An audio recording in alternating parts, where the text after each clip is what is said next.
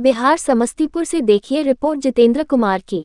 बड़ी खबर समस्तीपुर के खानपुर थाना क्षेत्र से, जहाँ एक विवाहिता की संदिग्ध परिस्थिति में मौत हो गई। विवाहिता के मायके वालों का आरोप है कि उसके ससुराल वालों के द्वारा उसकी गला दबाकर हत्या कर दी गई है। मृतक विवाहिता की पहचान चंदा कुमारी के रूप में की गई है। परिजनों ने बताया कि छह महीने पूर्व चंदा मोदी टोल के रहने बैद्यनाथ दास के साथ चंदा की शादी बड़ी धूमधाम से की गई थी। मृतक चंद के पति दूसरे प्रदेश में रहकर काम करते हैं और वह घर पर अपने ससुराल के अन्य सदस्यों के साथ रह रही थी। परिजनों ने बताया कि ससुराल के लोगों के द्वारा दहेज के लिए उसे लगातार प्रताड़ित किया जा रहा था। उन्होंने बताया कि दहेज में मोटी रकम और एक बाइक का डिमांड किया जा रहा था। इसके बाद घर में सही तरीके से रखने की बात कही जा रही थी। मायके वालों के द्वारा नहीं दिए जाने के कारण उसकी हत्या ससुराल वालों ने कर दी। घटना के बाद से सभी आरोपी फरार बताए जा रहे हैं। खानपुर थाना की पुलिस ने शव को पोस्टमार्टम के लिए समस्तीपुर सदर अस्पताल भेज दिया है।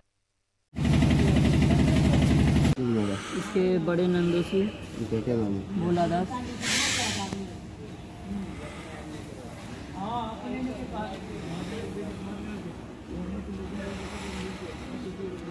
और कुछ मारा इसके छोटी ननद। घटना हुई थी पूरी बात घटना ये है कि छः महीने पहले इसका शादी हुआ था। उसके बाद मतलब ये अपने ससुराल में अपने सास ससुर के साथ रहती थी। फ़िलहाल में इसके हस्बैंड यहाँ नहीं है मतलब बाहर रहते हैं। कल शाम में लमसम में छः बजे इसके ससुराल से फ़ोन आया कि ऐसा ऐसा कोई घटना हो गया है जो आप लोग वहाँ से आइए। हम लोग अपना थाना में इन्फॉर्म किए। थाना प्रभारी के साथ अपना घटनास्थल पर गए। वहाँ गए। वहाँ जाने के बाद ये चीज़ पता चला कि घर के जो भी लोग हैं इनके सास ससुर और ननद दोनों ननद और उनके दोनों हस्बैंड सभी ने मिलकर इनका गला दबा कर हत्या कर दिया। कारण क्या?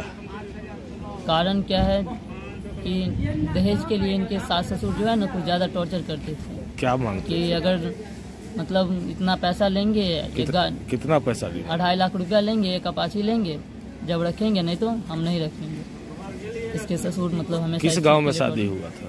ये पड़ता है चंदाहा मोदी टोल।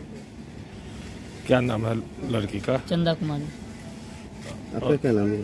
मेरा राकेश राजीव। आपका घर कहाँ हुआ? सोहन मसीना। थाना आपका? खानपुर।